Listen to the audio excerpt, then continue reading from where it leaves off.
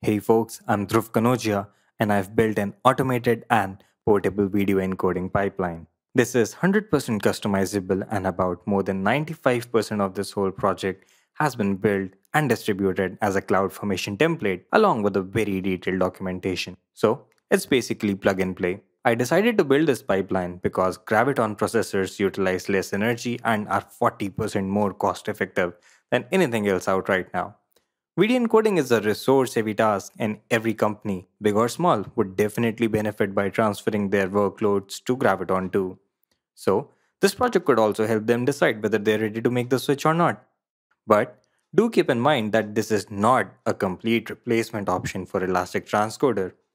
Why do I say so? Let's say we have a 20 second video clip. If I encode it on Elastic Transcode, I'll be paying for 60 seconds. But with this pipeline, you don't have to. Also, we have an added advantage of customizing this template to our requirements or needs. This is a resource map generated by Visual Designer, provided by CloudFormation.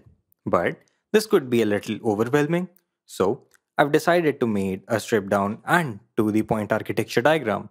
The base of the pipeline is that we set up an S3 bucket and we trigger an event to invoke a Lambda function when we have an object created event. Then this Lambda function takes that event info and creates a job in our AWS Batch.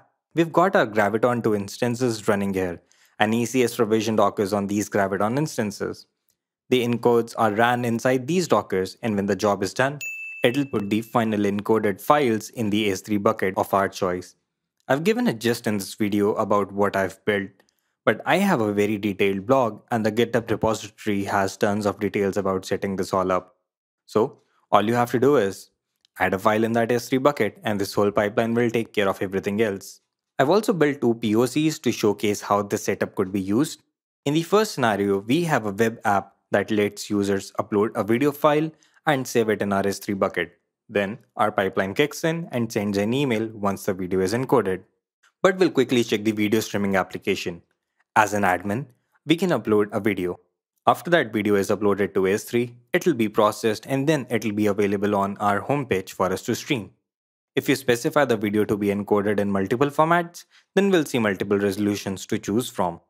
You can name the file accordingly to provide resultant resolutions and encode type used. Although it feels as if there's very little role of Graviton 2 here, but remember that it is the backbone of the very core thing.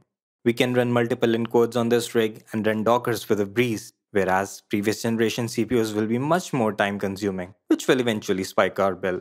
That's pretty much what I could show in 3 minutes. So thank you folks for watching this demo and I hope this project is worthy of winning. Thank you and have a nice day.